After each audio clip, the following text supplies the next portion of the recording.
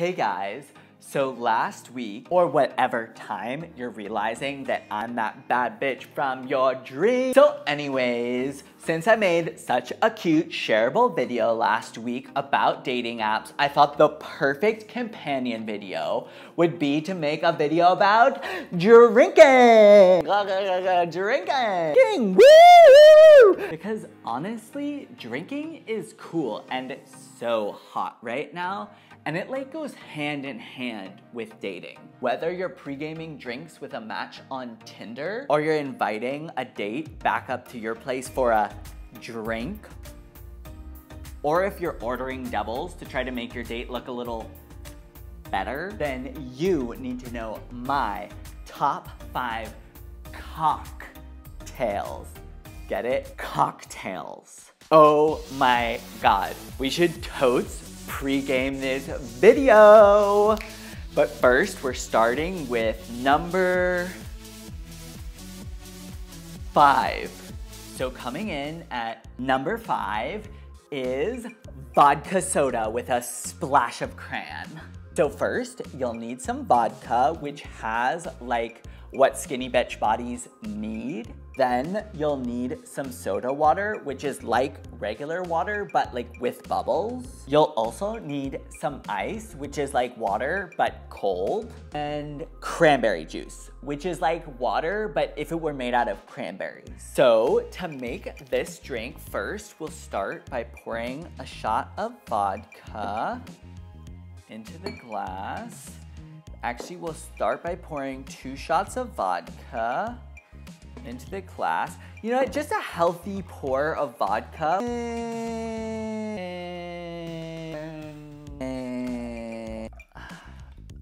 Just a little bit, you know, just like whatever you feel is right for your cocktail. All right, then adding a little bit of our soda water here, and we just need like one cap of cranberry juice. And we'll just boop, there you have it, vodka soda with a splash of cran. This is like a great cocktail to have at brunch, at like a work event, in the car, or even like out on the town. It is a multi-dimensional drink and that is why it is my number five cocktail.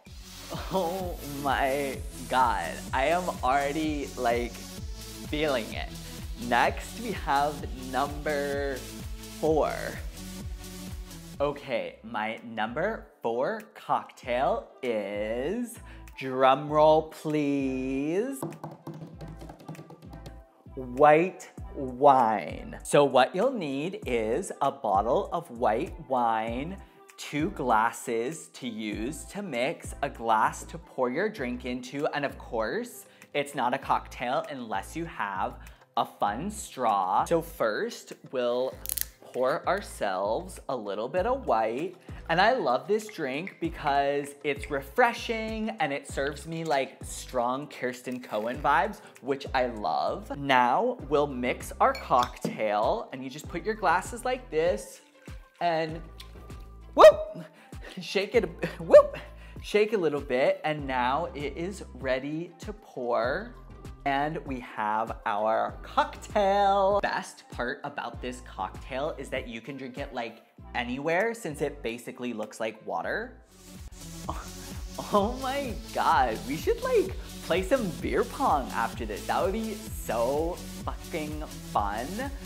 Uh, anyways, next we have number three of my top five cocktails.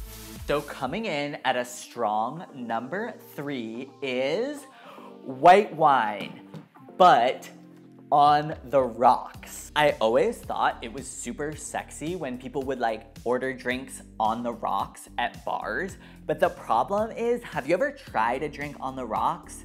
It's disgusting. Luckily, white wine is delicious. So first, you'll just pour yourself some wine, give it a little mix. We will pour our cocktail and then we'll put some of our cold water, put some of our cold water into our drink. Easy peasy. And of course, it is not a cocktail unless you have a fun straw. And this is like a great cocktail to enjoy at a bar, in a backyard, in summer, at your AA meeting. It's really just like a great cocktail anywhere. Here for it. Coming in at number two. Oh my god, I am so gross. Like, can someone please stop me? Like, oh my god, someone has to stop me. So, coming in at number two of my top five cocktails, a drink I love any time of year, or really like any time of day, red wine. For this cocktail, you'll need a bottle of red wine. You know what? Let's make it two bottles of red wine. So this is probably the heaviest cocktail I have poured so far this evening.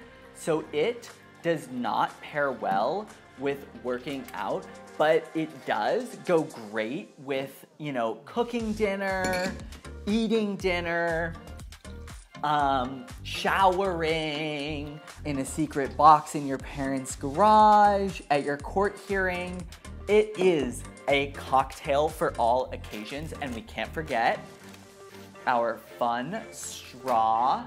And just like this, we have our number two cocktail. And the best part about this cocktail is that if you drink enough of it, people can't even tell if you missed when you were putting on your lipstick and got a little on your teeth. Last we have number one, numero uno, just like I should be in all of your hearts. And now, the moment you've all been waiting for, the number one cocktail in my heart and in my life. Diet Coke and Blow. Blow. Woo! Diet Coke and Blow. So for this cocktail, you will need one can of Diet Coke, one note of paper currency with a value above 20. Oh fuck, that's a 10. That will not work. Luckily, we have our cocktail straws, which will work just fine, and one tablet, preferably an iPad, but technically any tablet will work for this cocktail. Last, but definitely not least, the best bag of cocaine that a girl can hide in her bra. Now, due to some outstanding legal issues that I have, I actually can't demonstrate how to make this cocktail on camera. But I can tell you this is a great cocktail to just like jumpstart your morning or jumpstart your afternoon or jumpstart a night out. And dates will love the energy it gives you and that you bring to conversation. So yeah, that is my number one cocktail, Diet Coke and Blow. Ah, fuck it, we can have one, right? Oh fuck. That was meth. Uh, shit. That was definitely meth. I already bought this whole bag. Well, oh well. Mmm. Meth is not that bad. Girl, that is not cute okay? You need to get it together, like really get it together.